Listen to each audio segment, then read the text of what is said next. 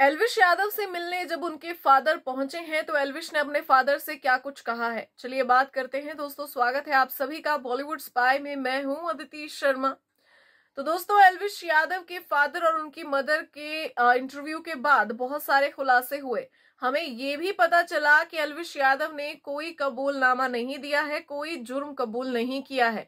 एलविश यादव के फादर ने ये चीज़ क्लियर की कि मेरे बेटे से मैंने पूछा कि कोई कबूलनामा दिया है, क्या ऐसी खबरें चल रही हैं?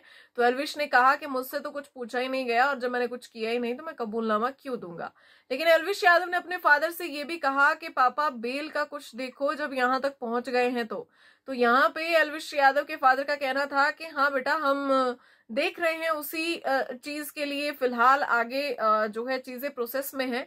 तो दोस्तों, यहाँ पे अभी तक क्लियर नहीं हुआ है कि कब तक बेल मिलेगी और आप सभी जानते हैं कि चौदह दिनों की ये न्यायिक हिरासत है। उसके बाद चीज़ें क्लियर होंगी, सामने आएगा सब सबके आखिरकार क्या हो रहा है। लेकिन फ़िलहाल फैमिली और एलविश यादव खुद इन चीज़ों से काफ़ी ज़्यादा परेशान है। आप सभी को क्या कुछ है कहना कमेंट्स में बताइए ज़रूर।